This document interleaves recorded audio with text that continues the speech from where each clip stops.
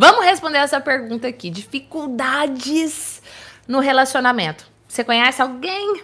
Conhece alguém que tem dificuldade nos relacionamentos, dificuldade na sua comunicação? Conhece? Deixa aqui, eu conheço. Ou se for alguém bem intimamente, coloca assim, hashtag intimamente.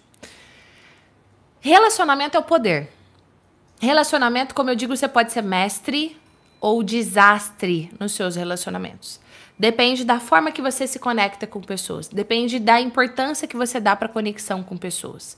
Primeira coisa que eu vou te dizer é: pare de colocar responsabilidade para o outro e traga responsabilidade para você.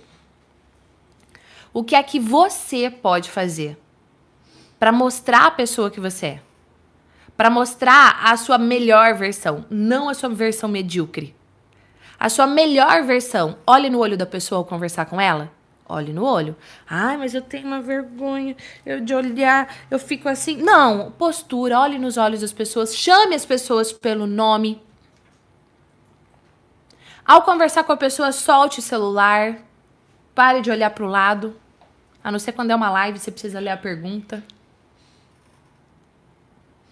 Segunda coisa, fale sobre o que você sente, o que você pensa. Seja assertivo na sua comunicação.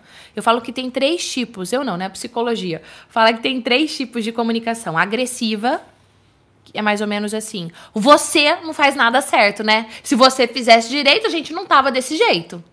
Eu não assumo a responsabilidade, boto a culpa no outro, você. E aí é desse jeito, com esse olhar, com essa entonação, com, sabe, com esse nível de energia agressivo.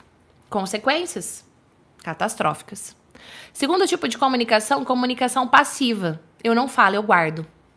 E aquilo fica me remoendo e eu guardo, eu não expresso.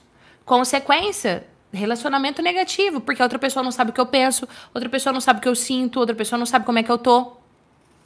Terceiro tipo de comunicação. Antes de eu falar do terceiro tipo, eu vou voltar aqui, né?